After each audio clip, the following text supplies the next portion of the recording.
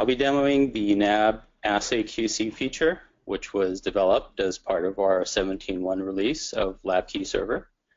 Um, NAB stands for Neutralizing Antibodies and is one of our plate-based assays and has been part of the platform for a number of years, but prior to the 17.1 release um, has not included any QC features as some of our other assays such as Luminex have. The QC feature was added to address the need to be able to manually inspect the data after the initial upload and potentially exclude wells from any analysis that is performed on the uploaded data.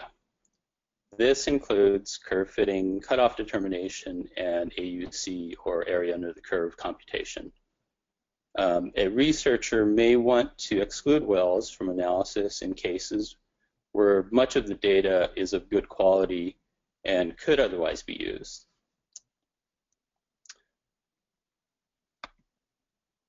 So once once data has been uploaded, the the QC workflow is initiated through the Run Details page. If the user is an administrator in the folder containing the NAB data, they will have access to um, the Review QC data menu. If they click on that, they will be taken to the, the QC wizard.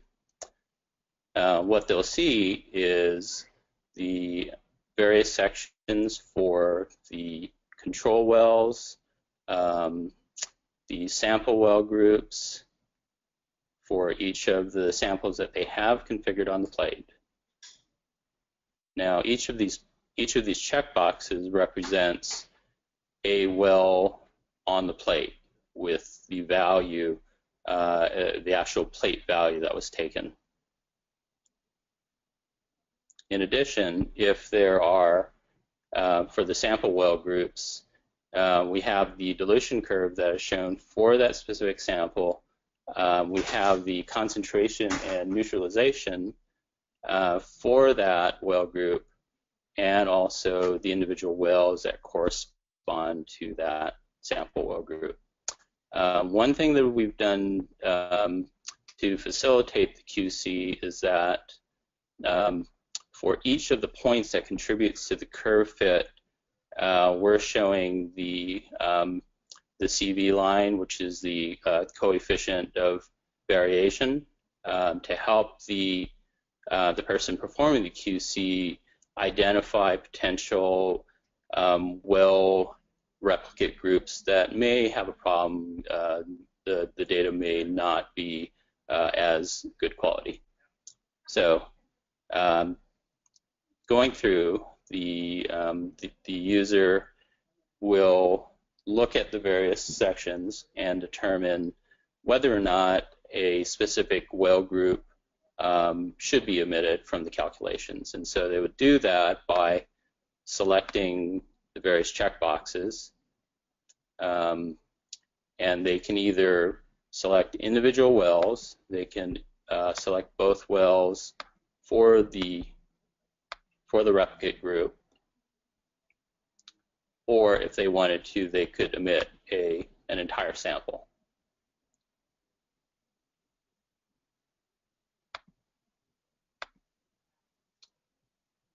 Once they've finished visually inspecting the first page, they can move on to the second page, which is the confirmation page. Here, what's displayed are all the wells that have been excluded from the prior page. Um, in this page, the user can add any comments, uh, which are optional, um, and these will be saved away with the omitted wells.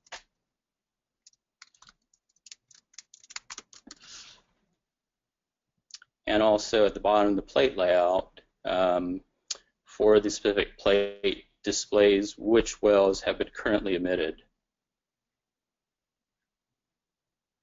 in the confirmation page, the user can decide that they want to um, stop omitting the wells from the from the QC by clicking on the delete button.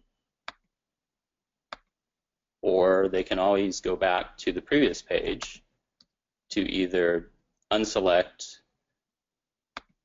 selections or add new ones.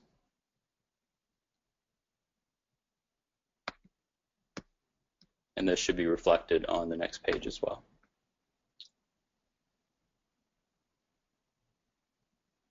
Once the user is satisfied that the that the visual QC is complete, they would go ahead and click the Finish button. This saves any information to the database and reperforms the calculations, which includes um, curve fitting on the non-excluded wells um, and any post-analysis that's done, which includes the um, cutoff calculation and area under the curve. So now in the um, in the details view, you'll see uh, any omitted wells. Um, in this case, I've omitted the entire sample, and so uh, the net neutralization is 0%, and you'll see that that is no longer um, displayed in the in the dilution curve for the entire run. Additionally, um, now we'll we also see that on the bottom in the plate data, um, those same emitted wells are colored in red to indicate that they're not they're not uh, contributing to any of the analysis. At the top of the page, you'll see that um, if QC has been performed for this run, uh, you'll see a note on when the QC was performed and who performed it.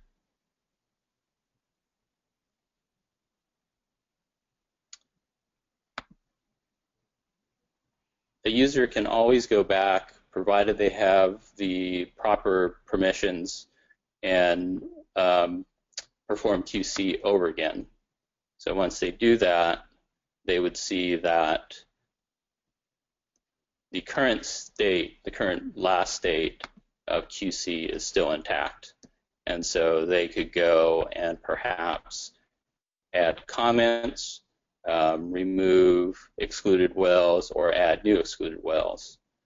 Now it's important to note that we that in this current implementation, we are not tracking um, the history of QC runs. So uh, what we do what we do retain is the last time that QC was performed. Um, so we wouldn't necessarily know that QC was performed um, twice or three times. Uh, we only know knew that the last time was performed.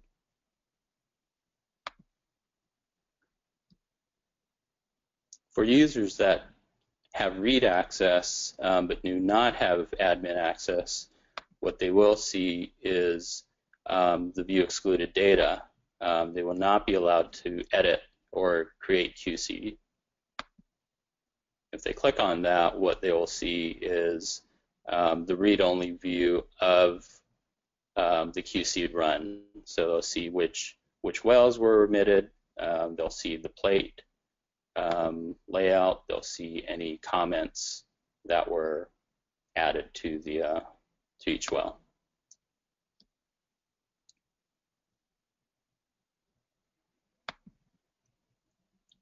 Additionally, in the runs grid, um, as well as in the run data grid, an optional column can be added um, called the QC flags.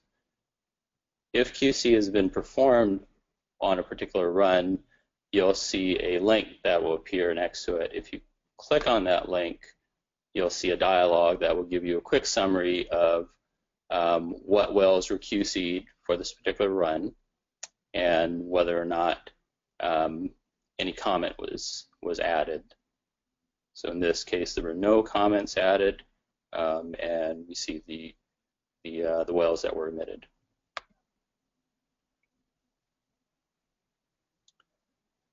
So I've shown I've shown the QC for our standard um, 96 well NAB assay type. Um, the QC feature is enabled for all the NAB assays. Uh, this includes the standard NAB assays shown, as well as the high throughput single or cross plate dilution NAB assays. Um, looking ahead, uh, we are we are thinking of adding some additional QC uh, features. Um, we don't have any solid plans yet, but some ideas are um, augmenting the manual QC with programmatic QC, where um, you could configure a threshold at which wells would automatically be excluded, um, and things of that nature. So with that, that it, that concludes my demo of the NAB QC feature.